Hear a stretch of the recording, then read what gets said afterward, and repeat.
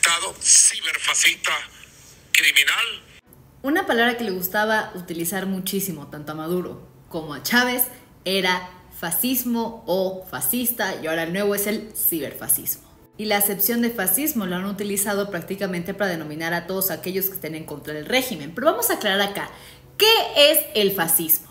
Y estos dos los conocen muy bien ya que ellos mismos tienen ciertas prácticas ya que el fascismo se dedica a exaltar esta, este amor por la patria, el nacionalismo, pero muchas veces con síntomas de violencia, de coerción, de sometimiento hacia todos aquellos que vayan en contra de esos ideales. Son gobiernos sumamente autoritarios, tanto así que no se permite circulación de diferentes opiniones de diferentes puntos de vista más que los suyos. Un ejemplo claro que podemos ver en Venezuela es la cantidad de medios de comunicación que han sido controlados por parte del gobierno por medio de la censura, el cierre de múltiples televisoras y radio y como lo podemos ver ahorita, que Maduro quiere tratar de cerrar o restringir TikTok en Venezuela.